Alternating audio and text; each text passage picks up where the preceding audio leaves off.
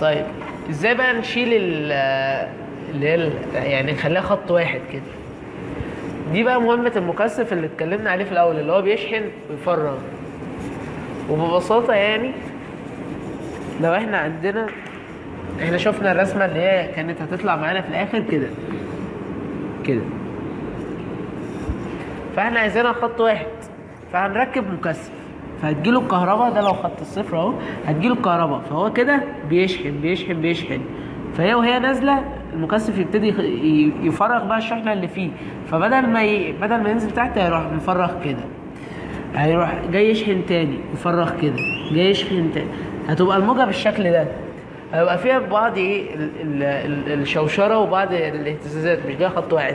كل بقى ما ما نزود سعه المكثف هتبتدي تظبط معانا لغاية ما تجيب الشكل اللي إحنا عايزينه اللي هو الخط المستقيم اللي هو زي بس مش هيبقى برضه مستقيم خالص زي البطارية. البطارية هي ال- الحاجة الوحيدة اللي ممكن تجيب لك خط مستقيم خالص.